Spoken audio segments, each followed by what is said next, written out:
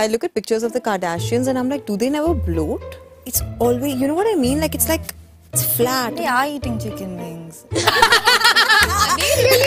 saw it. They don't know. They're the always eating, eating only. Maybe And- they eat one bite and then Yeah, And they fart from their mouths. yeah, yeah. Yeah. Or they don't. They don't fart. Botox their farts. Mm.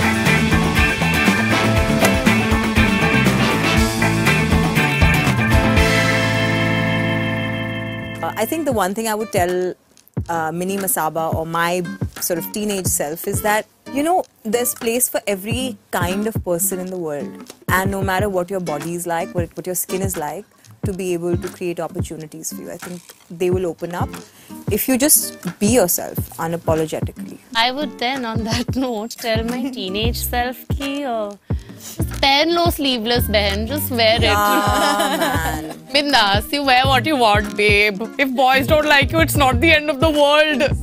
I think uh, when I was younger, I firstly was an athlete, right? I was playing professional tennis. So I was like this built, ripped like a ladka.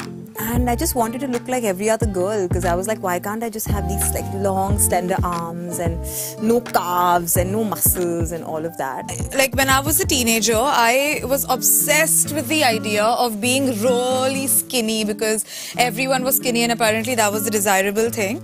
And what I actually would like to tell my teenage self and all other teenage girls is that while you should work out to kind of do whatever your goals are, you know. But at the end of the day, when you're working out, your goal should be more towards fitness and health as opposed to weight loss. And also understand your frame, you know. Yeah. My my trainer tells me this. He said if you aim to be uh, lean, skinny, because I would say, you know, okay, I want to be leaner, leaner, leaner, more definition, all of that. He said, but you're built. I mean, firstly, I'm half black. So he said, your built is big. You're a big girl. You'll always be a big girl.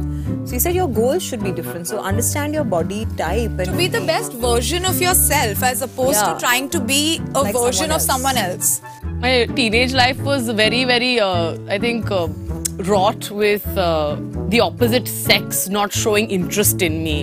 And that, I think, devalued me as a teenage girl. I want to tell my younger self that your body is going to be a very small part of who you are as a person. Yes. You're going to have so many varied experiences and you're going to learn from them, you're going to fail and you're going to win.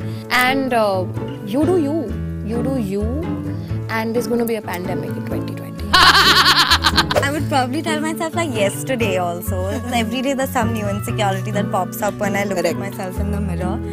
Just like be kinder to yourself generally. Like I don't think I felt attractive until like this year maybe when I started really like understanding my body what fits because I'm a very short girl so I was like oh maybe it's my height maybe it's my side profile so I will always look like this so just any of that I'm going to tell her to have a decent uh, lingerie budget because your boob size and your breast size is only going to grow. That patriarchy has screwed us over so. Oh, Misogyny. misogyny Please watch season two of Masaba Masaba. I promise it's bigger, brighter, better than season one. I promise that. And it's coming out on the 29th of July. And this three is telling you to subscribe to Vitamin Stree. Keep it coming. I would tell my younger self to keep the trauma coming because you're going to make content out of it one day. Yeah. Keep it coming. I don't know if I should clap.